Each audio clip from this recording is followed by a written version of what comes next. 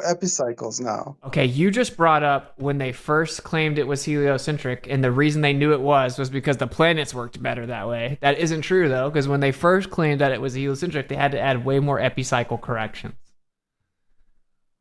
Okay. So, so they saw wrong. the epicycle when they thought the Earth, when they thought it was geocentric. No, no, they and had to add ep- epi. What, what was his name? The guy, uh, Jesus. The guy who like basically cataloged the stars back then. okay, so there was Tycho Brahe.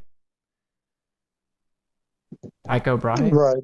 Yeah. Not that guy. Well, that's who actually cataloged the stars. And then Kepler took his observations and data and then tried to create a model of the Earth being going around the sun in a heliocentric model. He took Tycho Brahe's actual observations. Maybe I'm thinking of Copernicus because he still needed epicycles for his idea to work. I guess the question is, do you have any actual? You believe that the Earth flies around the sun 66,000 miles per hour, 30 kilometers every second. So we're we're just asking, do you have that's evidence for that claim? Sure. We have evidence that's not the case. Every time anyone's ever tried to measure the Earth doing that alleged motion, it hasn't measured it. We always measure the Earth to be stationary when they try to measure the Earth's orbit. We actually see the stuff in the sky move. Everything in the sky moves around the Earth, including distant galaxies. All the observations say that we're not moving. You're claiming the opposite. I asked you, do you have any evidence well, the observations say, yeah, it's a little hard to to measure how fast we're going when we're not in space because we're part of the movement, right? We can't like, measure it at all. Well, why do you why do you get to how do you get to stand up in a plane that's moving 700 miles an hour? It, like if you woke up, if you were born on a plane, didn't know you were on a plane, lived your whole life on a plane, you thought you would have thought you were on a stationary plane. No, but in reality, you're actually moving. Absolutely not. In, what do you mean? Absolutely not. You would he kind of has a point because we were born on a stationary plane and we do live on a stationary plane, just not the plane in the way that you're thinking about. That's it. true. If we were no, if we were born on a stationary plane, then we would experience everything we do. Actually, that makes a good point. You're good, you're good at this, bro. No, no, no. You're you're not listening. What if you're on an airplane? If you're on an we, airplane, we heard you, man. And it's going 700 miles an hour. You can stand up and you don't feel it moving. Okay, so you don't have any evidence that the Earth orbits around the sun. It's just a blind belief that you have. Fine, sure, I'll give it to you. It's okay, so don't, don't, you don't you agree that like no thought whatsoever, just blindly? Well, I asked you if you can explain any intellectual, articulate reason why you believe it, and you didn't do that. all I have to say is science. You like science has spent centuries evolving, so you... we don't have to. We don't have to do that anymore science. because they've science, already been doing that shit. Can you define science?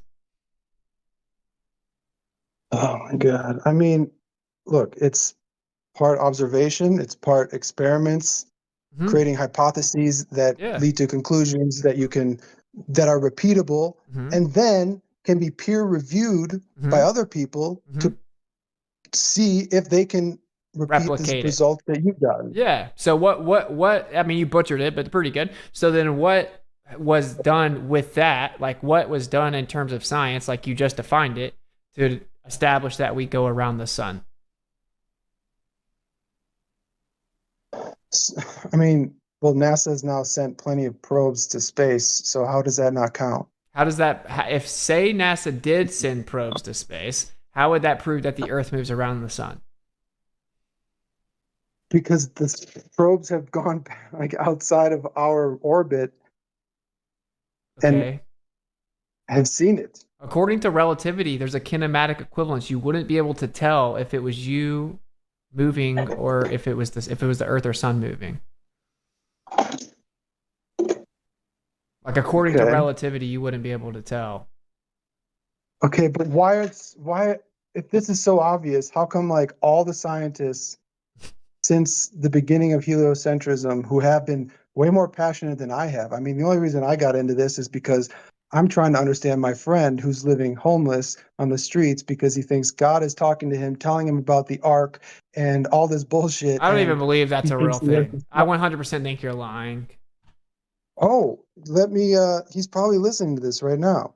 Okay, well, how about this? What you're going to find out is he obviously knows more about where we live than you do because you just blindly believe we're flying through a vacuum over 60,000 miles per hour around the sun, but you have no evidence of it, right? So it's basically like a religion. Do you, do you agree that if you just blind wait, wait, wait, wait, wait, you agree that if you just blindly believe a story that was written by other men and you have no actual evidence of it, but you believe it because other people believe it, that that's basically a religion?